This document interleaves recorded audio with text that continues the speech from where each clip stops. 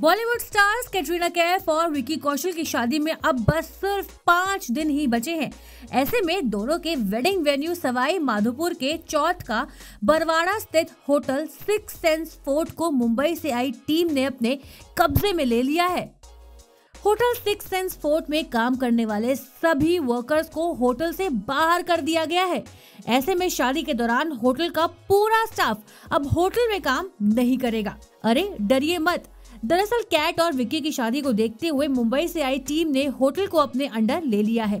यानी अब पूरे होटल में मैनेजमेंट टीम के द्वारा ही किया जाएगा।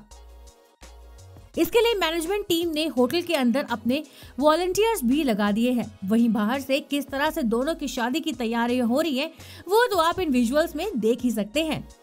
कैटरीना कैफ और विकी कौशल की शादी को देखते हुए 4 दिसंबर से 10 दिसंबर तक hotel six senses fort Chauth का बड़वारा को बुक कराया गया है। अब 10 दिसंबर तक होटल में कोई भी व्यक्ति एंट्री नहीं कर सकेगा और सिर्फ़ शादी के दौरान आने वाले 120 मेहमानों को ही होटल में एंट्री करने की परमिशन दी जाएगी।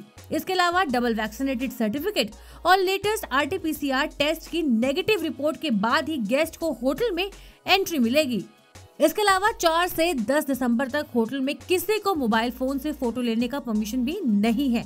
वहीं शादी में वीडियोस और फ़ोटोज़ के लिए इंटरनेशनल फोटोग्राफर मारिया टेस्टिनो को हायर किया गया है।